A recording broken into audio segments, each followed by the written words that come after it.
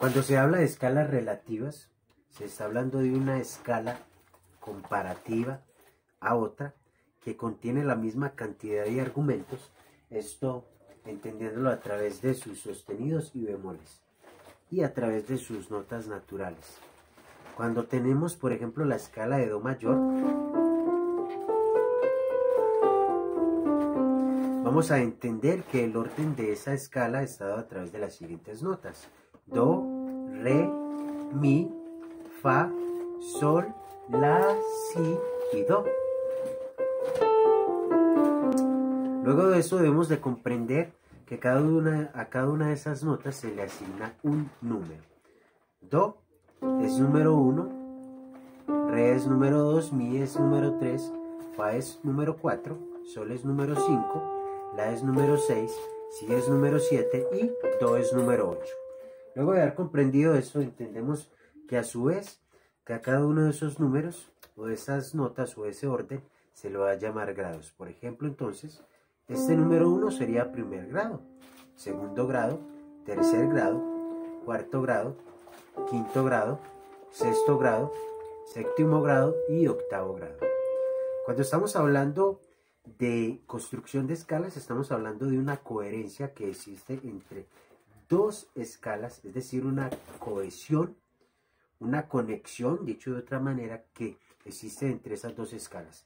Siempre que hablamos de construcción de escalas, inmediatamente estamos hablando acerca de o se puede comparar con la redacción de texto. Siempre cuando se redacta un texto, se debe tener una idea clara de lo que se va a hacer dentro del texto, qué tipo de orden se le va a dar, qué estructura se le va a dar, qué tipo de palabras y qué eh, investigación se debe, debió haber realizado para estructurarla dentro de ese texto. A su vez, como lo decía, el texto debe tener una coherencia, una cohesión, es decir, que las palabras estén conectadas y argumentadas y a su vez todas esas palabras deben tener una estructura gramatical muy clara. Hablemos propiamente de las palabras. Cuando estamos mirando una palabra, entendiendo que cada una de esas palabras presenta una escritura propia, podemos mirar cómo si o si cambiamos inclusive una, el orden de una tilde, de una letra a otra, o se omite, se le va a dar una intención muy diferente a la palabra. Se le va a dar un significado diferente. Y si lo añadimos dentro del texto, le va a cambiar totalmente la estructura del mismo. Lo mismo pasa con la música. Aunque la escala de Do mayor no tenga ninguna alteración, ya vamos a empezar a conocer que otras escalas sí las tienen. Y a partir de esto debemos de entender que a cada una de esas frases o de esas letras, en este caso entonces se conocen como notas, se le debe llamar como tal. Ya lo vamos a mirar más adelante cuando estemos eh, mirando las escalas relativas mayores de las escalas menores naturales. En este caso estamos mirando son las escalas relativas mayores o las escalas relativas menores de las escalas mayores, para que se comprenda. Por eso entonces hacía énfasis en la escala de Do mayor.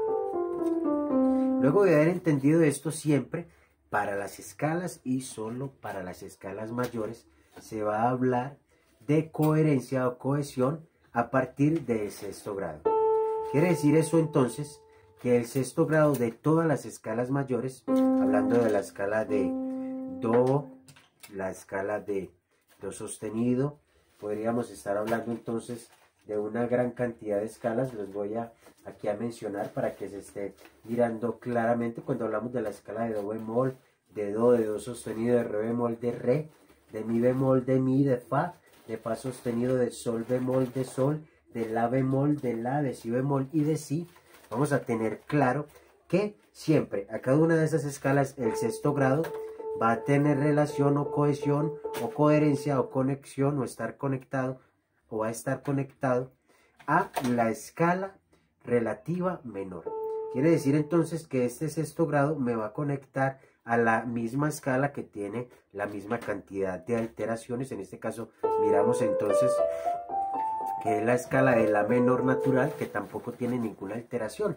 Miramos entonces cómo a partir de este sexto grado se me conecta a la escala de La menor. Y si comparo ambas escalas, La, Si, Do, Re, Mi, Fa, Sol, La, La, Sol, Fa, Mi, Re, Do, Si y La, tenemos que sería lo mismo Do, Re, Mi, Fa, Sol, La, Si, Do, Do, Si, La, Sol, Fa, Mi, Re y Do. Lo mismo en temas de órdenes eh, de, cantidad de alteraciones, en este caso ninguna, pero sería ese orden, cada una empezando desde su nota tónica. De esa manera va a ser mucho más fácil aprender la estructura de las escalas, porque ya teniendo clara la escala de Do mayor, voy a entender a partir del sexto grado la escala de La menor. Y inmediatamente entiendo cuando vea una partitura que está en, que después de su clave musical no presenta ninguna alteración, ningún sostenido o bemol, puedo entender que está escrita en la tonalidad de Do mayor o en la tonalidad de La menor natural. Por eso entonces la coherencia, la cohesión y la gramática dentro de la música, es decir, llamar a cada una de esas argumentos de la manera que se debe de conocer.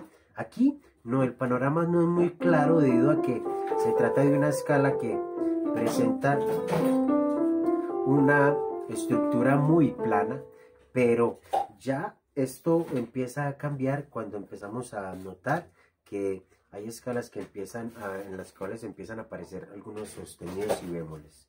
Ahora empezamos a mirar un segundo argumento importante y es que aunque ya entienda que estas escalas son relativas, debo de entender que no siempre la digitación es igual.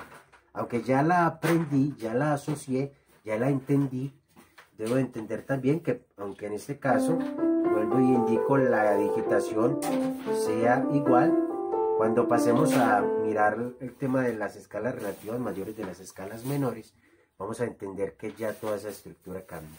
Y así vamos a hacer. Cuando estamos tocando las demás escalas, vamos a identificar el sexto grado. Inmediatamente entonces vamos a mirar y a comparar ambas escalas que presentan la misma cantidad de alteraciones.